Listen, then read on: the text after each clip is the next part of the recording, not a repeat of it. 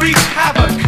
It's got another name now, emotionally undressing. I need to look more serious. Condensed in my nightlife, it's a love for